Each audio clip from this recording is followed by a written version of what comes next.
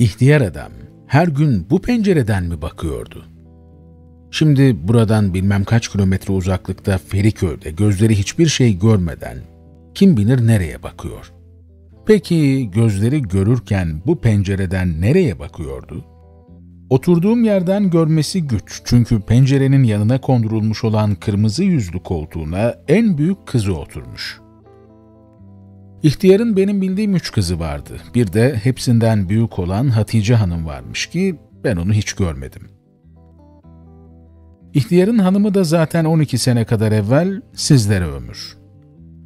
Senelerdir annesinin yokluğuna alışarak yaşayan genç kadının gözlerinde şimdi daha derin bir hüzün var. Nasıl olmasın? Son kalesi de düştü. Derin bir nefes alıp verdi.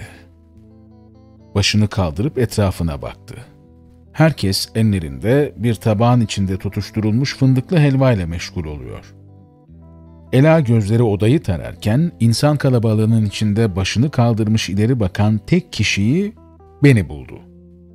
Hüznünü muhafaza ederek bir baş selamı verdi, ben de belli belirsiz selamına karşılık verdim. Fakat aklım hala penceredeydi. İhtiyar her gün o kırmızı yüzlü koltuğa oturarak nereye bakıyordu? Deniz desem değil, buralarda hiç deniz yoktu. İstanbul'da ama denizden uzakta. Ağaç desem değil, sokakta ağaç yok. Her yer silme beton. Gözler yeşilliğe hasret ama bu mevsimde yapraklar yeşil olmaz ki. Tam da yaprakların sararıp kızardığı güz mevsimindeyiz. Onlar dallarında olgunlaşacaklar. Önce biraz sararacaklar, sonra da iyice kızaracaklar. Hemen ardından da ilk esen rüzgarla birlikte emanet şekilde tutundukları dallarından kopacaklar ve yerlere düşecekler. Bir gün öncesinde hiçbir şey yokken uyuyup uyanacağız ve sabah mahmurluğuyla uzanıp perdeyi açtığımızda bir de bakacağız ki her yer silme yaprak olmuş. Kıpkırmızı bir deniz sokağa kaplamış sanki. Hala esen rüzgar bazılarını yerden kaldırıp havalandırıyor. Odaya bir sessizlik hakimdi. Kadın gözlerini tekrar indirdi. Şimdi sol eliyle tuttuğu çatalını tabağına rastgele sallayarak kopardığı helva parçalarıyla oynuyordu. Ya da oynuyordu demek haksızlık olabilir. Sanki eğlencesine yapıyormuş gibi anlaşılabilir. Ancak hiç eğlenir gibi bir hali de yoktu. Gözleri tabağa doğru dalıp gitmişti. Yavaş yavaş ayrılışlar başladı. Cenaze evinin sakinlerini acıları ve yaslarıyla baş başa bırakma telaşı. Birer birer herkes kalktı. Bitirdikleri tabaklarını mutfağa doğru götürdüler. Birlikte gelen insanlarsa içlerinden birine vererek tabakları toplu olarak mutfağa gönderdiler. O an ben de karşımdaki kırmızı elbiseli kadın gibi tabağımdaki helvayla oynadığımdan kimseye bakmıyordum. Yerimden kalkmadım da. Odadaki insan sayısı azaldıkça benim görüşümün asıl bakmak istediğim yöne odaklanması da kısa sürdü. Sarı küt saçlarını fark ettim birden ve üzerinde salınan kırmızı uzun elbisesini. Bir cenaze için tuhaf bir elbiseydi. Gözlerindeki dalıp dalıp gitmeleri görsem neredeyse ihtiyarın öldüğüne sevindiğini ya da o kadar umursamadığını söyleyebilirdim. Gerçi bana neydi?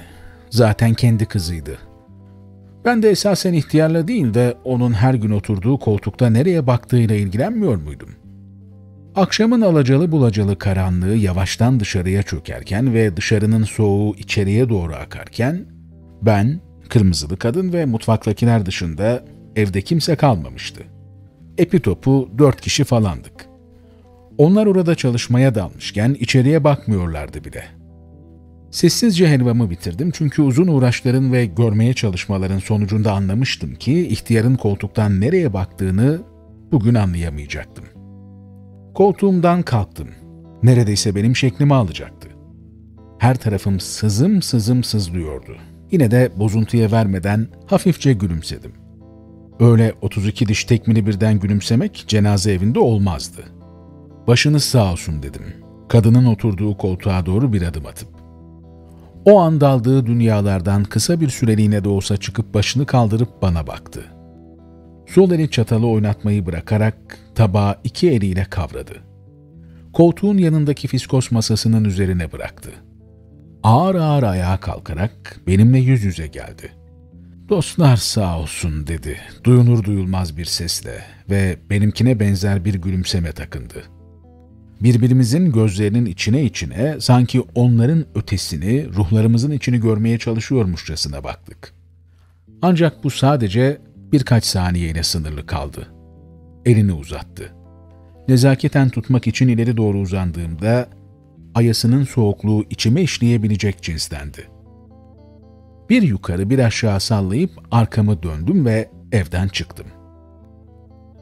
Burası iki katlı bir binanın ikinci katı. İlk kat da ihtiyara ait aslında. Kiracısı oturuyor sadece. O da benim. Alt kata inip evin kapısını açmaya çalışırken birden kadına gerekirse yardımcı olabileceğimi söylediğim aklıma geldi. Hatice Hanım'la aramızda en ufak bir hukuk yoktu ama ihtiyarla aramızda bir şeyler vardı. Bunca yıllık komşusuydum ve çevredeki ev sahiplerinin tüm baskınlarına rağmen onların kendi kiracılarından aldığından daha az kira alıyordu benden. Baskı yapıyorlardı çünkü kiracıları. Örnek olarak bizim ihtiyarı gösteriyordu. Bu da sinirleri geriyordu tabii. Yine de ihtiyar beni savunmaktan geri durmadı. Evime girdim, eşikte sağ ayağımla adım attım.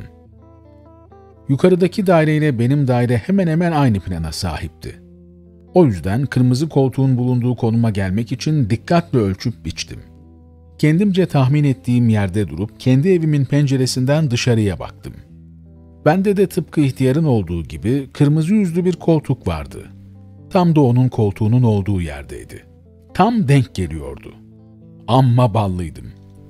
Geçip oturdum. Pencerenin ötesinde hiçbir şey yoktu. Sadece yol vardı. İnsanlar geçiyordu. Oturma odasının dışından kapının açılma sesi geldi. Kimdi ki bu acaba? Kim o? Kapı kapandı. İçeriye doğru yaklaşan bir ses sorumu cevapladı. Benim babacığım. Babacığım mı? İyi de ben evli değilim ki. Kendi kırmızı yüzlü koltuğumun üzerinde yan dönüp geriye baktığım gözlerimi eşeğe diktim. Uzun kırmızı elbisesiyle eşikten içeriye Hatice Hanım girdi. Gülümsedi.